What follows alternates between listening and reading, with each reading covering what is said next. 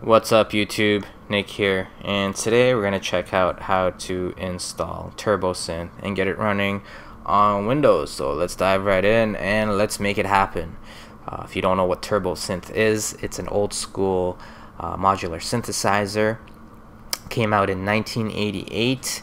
Uh, it was created by Digidesign, the guys behind Pro Tools, and it's probably most known for being used by Trent Reznor and Nine Inch Nails on the albums like uh, Broken and The Downward Spiral, uh, most notably on the guitars. Uh, so if you're interested in doing some similar effects like that, um, this is what he used to do it in. And there's some newer stuff that you can use that you can get sounds pretty close to what TurboSynth does. There's like iZotope Trash 2, like Melda Productions, uh, and Waveshaper is pretty cool as well but um, there's something about TurboSynth that's just pretty cool. So let's see what we need to install and use uh, TurboSynth. So I will provide all the links that you need in the description box. So go ahead and download this first one, Mac OS 9 app installer. You might as well download TurboSynth and FileType while you're waiting for this one to download because it's a little bit bigger. Put them wherever you want and let's go and let's make this happen. So, after you install Mac OS 9 app installer, let's shut this down and let's load up Mac OS 9. So, when I try to load it with the actual application here, it doesn't load for me. But if I go and I just load SheepSaver, so I just click on SheepSaver and it loads up. I get a couple error messages, but it doesn't seem to affect what I need to do with uh, with SheepSaver and TurboSynth. So there's one thing that I had to do to get the sound working. So go double click on this Mac OS 9 and go into system folder and then go into extensions here. And then over here you'll see like an Apple audio something. Uh, it'll be Apple audio. You'll take that, you'll drag it and drop it into the trash. I'm not going to do it. I've already done it, so I don't need to do it, but this is where you do it in the extensions folder uh, from the system folder. And then drag and drop the Apple Audio extension into here. And then control click, empty trash. Okay. Add something else in there, empty that. And then restart, restart SheepSaver. so we'll reload it alright and then we want to go back into the control panel and then go to sound and make sure you're using built-in for the output alright so we're set to actually hear something in TurboSynth the next step for you will be to actually install TurboSynth and FileType so you actually have to uh, copy those over. So I wonder if you can just do that. No, you can't do it like that. So you have to go to this PC and then navigate to wherever you have your stuff installed.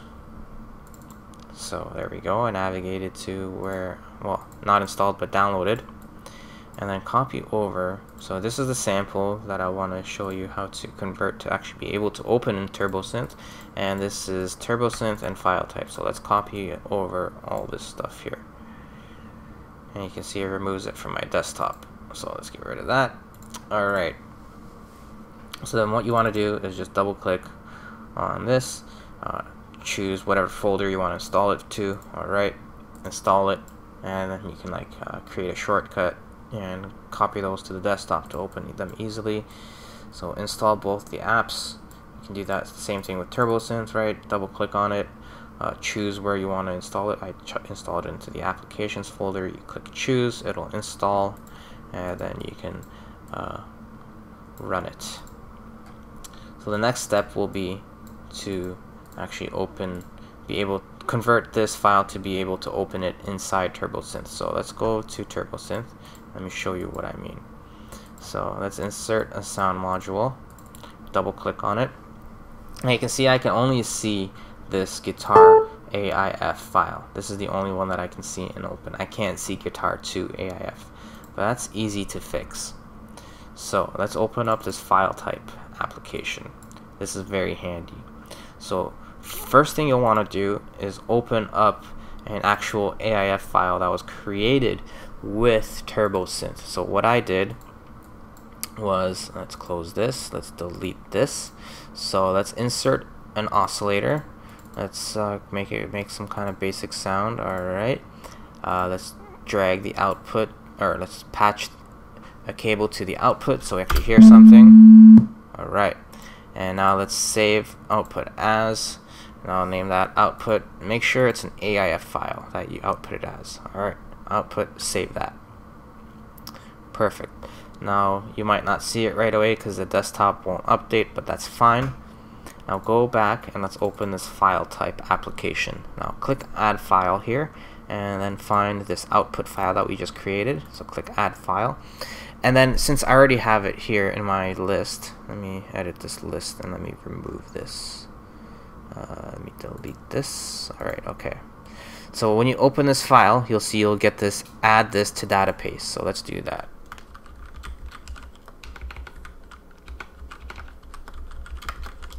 There we go. Click OK. Perfect. AIF audio file. Now remove that. We don't need it.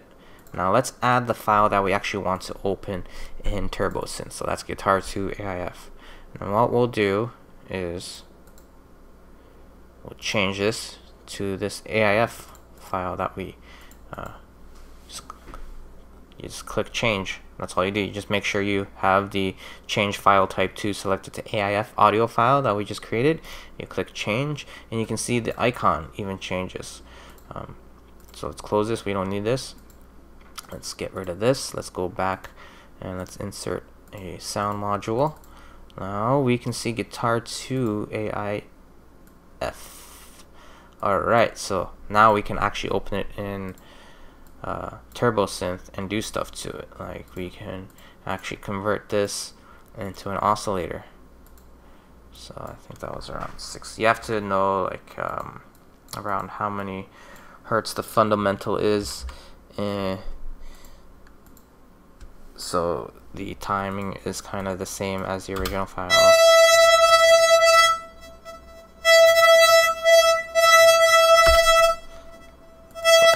So it sounds pretty weird.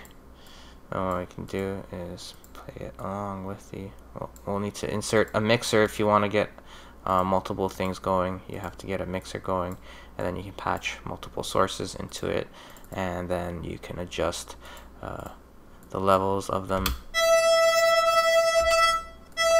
and we actually need to load a sample into here so let's do that. Alright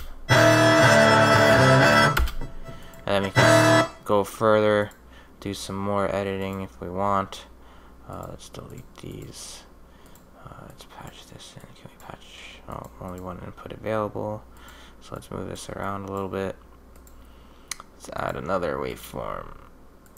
Let's put this in. Let's patch this in patch that in.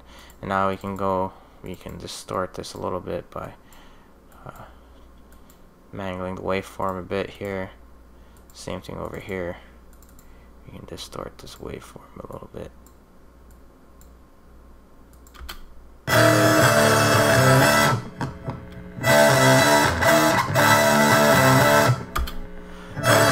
Alright, so now you start getting some weird funky sounds pretty quickly here in TurboSynth.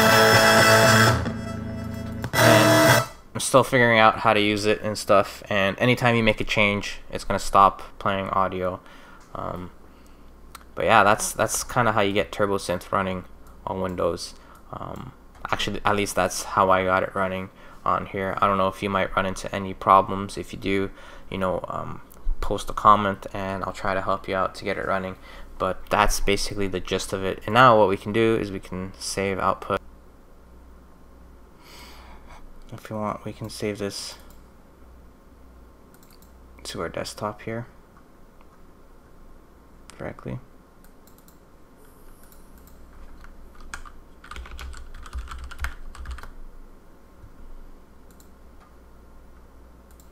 Now I have it right on my desktop.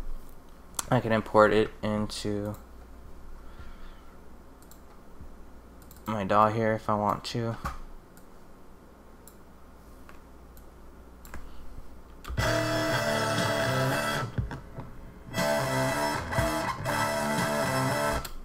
And start messing around with it some more if I want. That's pretty cool. So that's TurboSynth, basically. That's how you uh, get it running on Windows. That's how you can save a file with it. That's kind of the basic usage with it. I just basically got it uh, going, so I don't know how to use it that well yet. Uh, it's got a lot of interesting modules, interesting sounds. Um, so I think like speeding up, slowing things down, and using the wave shaper will be fun to mangle uh, sounds and create interesting soundscapes. So if you're interested in using TurboSynth, that's how you get it running on Windows. I hope you found this video uh, useful. Um, if I figure out how to get some cool sounds uh, using it, I'll do another tutorial on that, or maybe even like a basic uh, usage tutorial uh, on how to get some basic sounds with it. If you're interested, you know, leave a comment and stuff like that. Um, Thank you for watching. Please like and subscribe, all that good stuff. Ring the bell if you like the videos and the content that I provide on here. I will see you soon on another video. I uh, hope you have a great day. Thank you again for watching. Take care. Bye.